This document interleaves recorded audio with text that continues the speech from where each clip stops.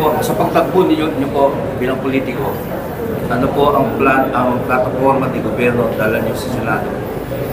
Well, marami, no? Unang-una na, ah, alam mo, ang magdadala sa atin ay ang istruktura natin. At ito'y ang national government, papasok si gobernador, papasok ang lungsod, papasok ang ang ah, barangay. Anong mga papel nila? That is what is called as leadership. At yan nakapaloob sa isang libro, ang tawag Local Government Code of 1991. Na kung saan hinihimay nito anong dapat gawin ng nasyonal, anong dapat gawin ng lokal, ano responsibility ito, ano ito, etc. Pero 1991 pa yan. Marami ng depektong nakita dyan at dapat baguhin. Yan ang uunahin ko. At ito'y nagpagawa na ako ng ah, study rito sa Local Government Academy, sa Union of Local Authority of the Philippines. Ito'y samahan ng mga gobernador, mayor, lahat. Kinuha namin yung feedback at sila meeting namin sa presidente. Tingin ko dapat isabatas na ito. I'll give you one example sa provision doon ay kailangan ang barangay road ang magpapagawa daw ay mga barangay. Sa Nueva Ecija o maski sa ibang lugar, hindi kaya ng barangay ang pondo niya para magpagawa ng barangay road. Number two, ang mga eskwelahan daw, dapat magpagawa ang mga lungsod, LGU. Hindi kaya na iba. Ano na, fourth, fifth, hindi mo kaya yan. Ma- Mabigat yan. Communal irrigation, ganun din ang local government unit. So marami dito na mga bagay-bagay. Agriculture, binaba yung iba sa LGU. Ano nangyari? Baka magkakanya-kanya. Ako naniniwala, ibalik natin sa agriculture sa taas ito, sa nasyonal. Tapos tutulong na lang yung LGU kung anong meron silang pwede itulong sa extension.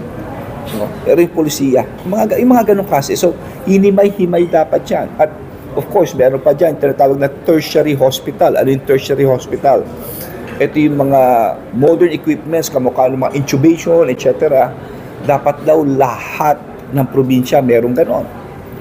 Eh hindi naman lahat pinanganak na mayaman. At hindi naman, paano kung nasa mahirap na probinsya ka at hindi niya kaya? Paano yung mga tao ron? So, dapat pumasok ang national dito. So, for me, unahin natin yon At marami pang ibang susunod. Hey, sir, Secretary. Sen yung, uh, yung sa law enforcement naman at local government unit, ngayon po yung uh, pag, paghanap yung sa Pogo na naghiwa-hiwalay na raw, nahihirapan na pa ako. Mhm. Kasi parang sa iba't ibang LGU na Yeah. nakakasako. Then yung sa mining, uh, nakakapag-operate, pati yung mga hindi dapat mag-operate, LGU din po ang uh, para sa dito. Dahil kayo po natutukan nyo ang uh, local government ang interior, Ah, ano po ang nakikita niyong piece of legislation na kinakailangan para masolve yung mga problema na yun? Well, ah, number one, no, unahin mo natin yung Pogo. Dati, kung di ako nagkakamali, dalawang daan lagpas ang, ang Pogo. Ito yung legal, ha, may lisensya. Nung ito'y nilinis ni, ni Chairman Al ng PAGCOR, ito'y naging 43 na lang. Kung hindi ako nagkakamali, ngayon less than 40 eh. Sinabi sa akin, konti na lang. Ito yung legal. Pero ang naging problemang malaki ay yung illegal. Kasi karamihan nito sa Metro Manila at tingin ko Cavite lang daw, parang ganun. Kamukha yung nakita sa Bamban. Illegal po yan, wala yung lisensya. Yung nakita sa ah, Cebu, no? Ah, Mactan ba yun o Lapu-Lapu? Lapu-Lapu. Illegal po iyon, wala rin yun. Yung nakita sa Porac, illegal din yun. Yun ang problema natin, yung illegal. Kaya bago ako umalis, nagbigay ako ng MC, Memorandum Circular sa lahat ng mayor na checkin nila lahat ng gusali sa lugar nila. Checkin nila, isa-isahin na, mano-mano na. Ha? Kasi kung yung lugar na yon ayaw magpa-check, may kapangyarihan silang hindi bigyan ng building permit hindi bigyan ng business permit, I'm sorry, business permit. Meron sila dyan na, may, meron silang kasangkapan dahil they give the business permit, sanitary permit, occupancy permit, may Bureau of Fire ka. No? Kaya sinabi ko, isa-isahin. Kasi baka mamaya, andyan lang yan nakatago. No? So, yun ang importante rito. No? Ah, actually, ginawa ko na yan through a memorandum circular. Ngayon, yung sa mga mining na sinasabi natin, etc. Isa lang sinabi ko sa pulis dito. Ang sabi ko sa kapulisyahan, para wag kayo malito. Kasi kung minsan, makikita mo ang pulis na dadamay eh.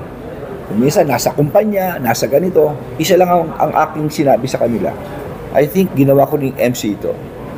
Kung sino yung concerned agency, if it's about mining, sundin nyo yung sinasabi ng concerned agency.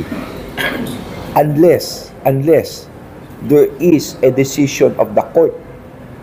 Kung may decision ng korte, be it the Supreme Court, the RTC, yun ang papanigan natin. Importante yan. Pero ngayon, kung may issue, kunyari, nag-aaway yung kumpanya, nag-aaway kayong dalawa, wala kayong kakampihan dyan. Parati ang susundin nyo yung ahensya na nakakasako. If this is about mining, you follow the department, the secretary of the DNR. Ha? At iba pang mga, this is about ano, you follow DTI, etc., etc. It should always be like that. Okay, may tanong pa, sir? Yes, Sal Mil Salazar po itong nakumpalay. Kaya pakilahat nga po yung event na niya, yung distribution. Well, uh, eh, uh, yeah, yeah. Ito yung mga mga tulong naman, ano, mga tulong ng mga congressman, sila Speaker Martin, no, sa sa atin, no. Ito yung ginagawa nilang mga pag, pagtulong sa mga kapuspalan. Yeah. So sir, baka may mensahe kayo sa mga taga Nueva Ecija naman sir. Well, sa mga taga Nueva Ecija, ito lang ang masasabi ko, no. Number one, maraming salamat. Kayo ang tinahal na isa sa mga rice granary of the Philippines, no. Meaning, halos kayo nagpapakain ng bigas sa buong buong bansa, ika nga. Kaya nga, alam kong yung ibang lugar, no, halos naubos ang bigas, pero dito talagang itak ito. Kaya naman, taus-puso nagpapasalamat kami rito. At hindi lamang yun sa progreso mismo ng, ng isang ah, probinsya. Ito yung nagpapatunay ng liderato at pakikiisa ng tao. Dahil hindi kayang gawin po iyan ng isang leader. Importante ang partisipasyon ng lahat, lalong-lalo na ang mga tao. Maraming salamat, Nueva Ecija. Sir, lighter side, kumusta acting career mo? Oo. kagabi lang, hindi, kagabi meron, oh, meron kaming, uh, panoorin nyo na lang after one week, ah, nakahanda. Kasi wala na naman akong trabaho ngayon, ako'y ah, private citizen, so, uh, panoorin nyo sa television po. Sir, baka po na question, last na lang. Yeah. Hanggang mo lang po yung mga pulis na binanggit niyo po na kinasuhan. Yeah. Nasuspend din na po ba ngayon? Well, yes, yung apat, uh, sa Marali dismiss na po, yung apat. Yung iba, lalabas na anytime yung decision po inon sa Napolcom. Inabutan ng pag-alis ko, pero mabusisi iyan, ha, dahil it has to go through a hearing, yung tinatawag natin due process. So, titignan mo, papatawag mo isa-isa yung testigo, papakinggan mo, magsasabit ng paper yan, etc. etc. Okay, on that note, uh, oh, may pabi pa. Doon sa war on drugs sa investigation ng Senate, if you were to be asked, ano sa tingin mo? Of the whole or paano ang dapat sa Well, ang war on drugs, simple lang.